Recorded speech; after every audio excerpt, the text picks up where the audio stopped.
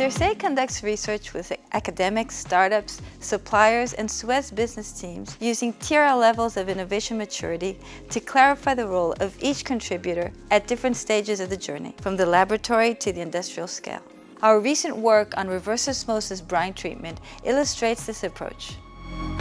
Low-pressure reverse osmosis is used to treat difficult water matrices such as polluted rivers or reclaimed wastewater. The problem is that the membranes transfer all the mineral content to the brine discharge.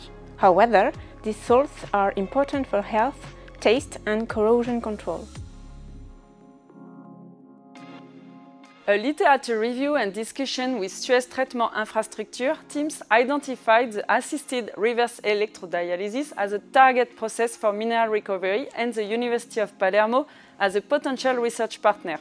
A partnership framework was established with ResourSEAs, a spin-off startup from the University of Palermo and a German equipment supplier to conduct preliminary tests at our MEMLab platform. I collaborated with uh, the CIRSEE uh, during my PhD studies. In fact, I spent four months with the MEM lab team evaluating the assisted reverse electrodialysis technology to safely recover minerals from brine. The results from lab-scale uh, tests were used to validate a model and identify the optimal condition for a pilot unit. The encouraging results from the lab-scale proof of concept prompted us to elaborate an experimental plan to pursue testing at pilot scale. These experiments ran over one year with different operating conditions to assess process performance and water quality. A final testing campaign was conducted at a full scale to validate conditions for industrial application and to produce data for certification in drinking water treatment.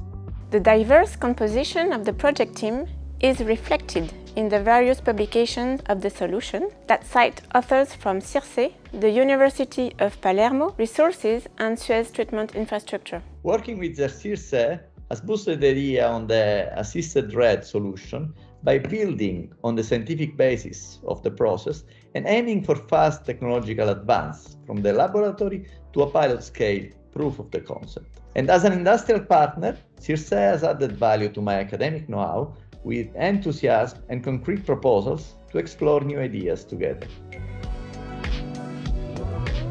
Today, we're exploring other applications of electrodialysis and new partnerships to accelerate research.